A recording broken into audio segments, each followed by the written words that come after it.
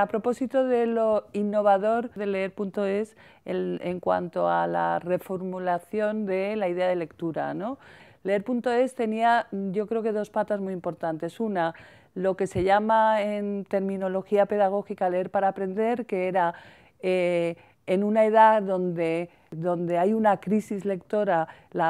eh, al final de la infancia, la preadolescencia y adolescencia, y donde se complica mucho la lectura como elemento fundamental de aprendizaje y aprendizaje teórico, entonces eh, los profesores de secundaria dicen esa barbaridad, decimos muchas veces, es que estos niños no saben leer, vienen sin saber leer y cuando no sabemos era concienciar al profesorado de que es una edad en la que tienen que aprender a leer de otra manera. Tienen que aprender a leer química, a leer física, a introducirse en disciplinas mm, teóricas y, y, esa idea de que la lectura es la herramienta fundamental de aprendizaje era lo que queríamos nosotros aportar y lo que creo que se aportó con leer.es, que se trabajaba la lectura desde todas las asignaturas y para todas las áreas. Conecta con dos ideas fundamentales. Una, todas las competencias básicas, que son las que se trabajan o se deben trabajar y que son el cambio de currículum, que es trabajar en saber hacer cosas, no poner el énfasis en los contenidos, sino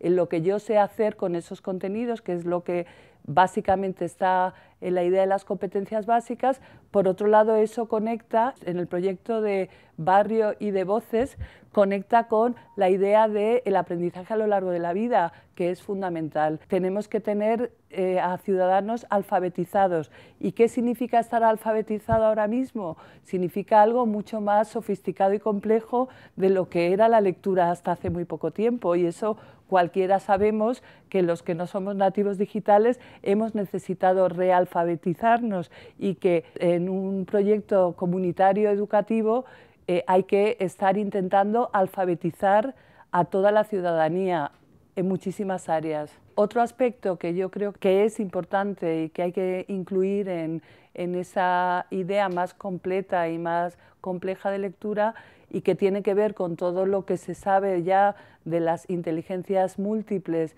y del factor tan fundamental que es la creatividad, la reformulación de la idea de creatividad, es que la lectura tiene que acompañar a todo este proceso multidisciplinar. Entonces, no leemos solamente textos, sino tenemos una retórica de la imagen, de la imagen fija, de la imagen en movimiento, una retórica de, de lo virtual que también hay que aprender a leer y que muchas veces queda relegada en la escuela y es fundamental porque realmente no podemos eh, generar ciudadanía si no somos capaces de incorporar todas esas distintas lecturas.